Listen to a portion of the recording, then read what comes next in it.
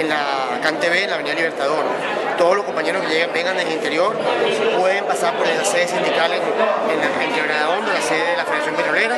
Ahí eh, descansamos y nos vamos a la CanTV a partir de las 8 de la mañana para comenzar la marcha como muy tarde, 10 de la mañana, eh, liderando todos los trabajadores que van a venir de PDVSA, de los eléctricos, de las diferentes regiones, los universitarios, los públicos, los gráficos, los, de telecomunicaciones, los de salud, todos vamos a estar organizados con miras a llegar al 23 de enero. La, la, marcha es larga, pero vamos, esperemos llegar a...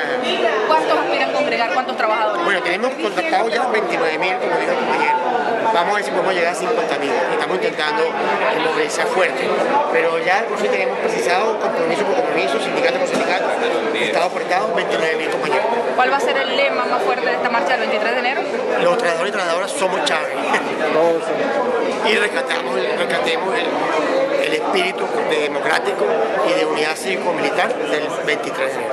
Aparte de dar este respaldo al presidente Chávez, ¿en qué anda la Central Bolivariana Socialista de Trabajadores ahorita eh, para precisamente apoyar a la masa laboral venezolana? Sí, la Central acaba de aprobar un plan de trabajo que precisamente se debatió en la mañana de hoy, un plan de trabajo nacional eh, que ya se va a empezar a ejecutar, que, que implica, entre otras cosas, mejorar la respuesta de, la central no solamente a los trabajadores y trabajadoras, sino al escenario político nacional también. Eh, implica fundar definitivamente, que no tenemos fundadas, las 24 federaciones de cada estado, que lo que tenemos son comisiones promotoras. Significa mejorar el funcionamiento organizativo de las diferentes comisiones tener más eh, viabilidad en la, ejecución de las acciones.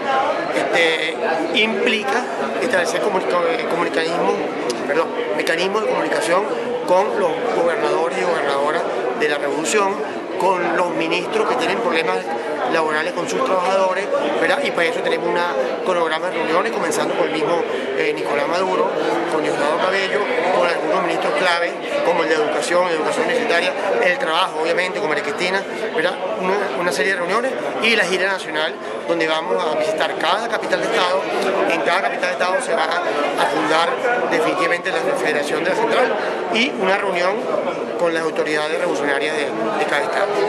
Muchas gracias.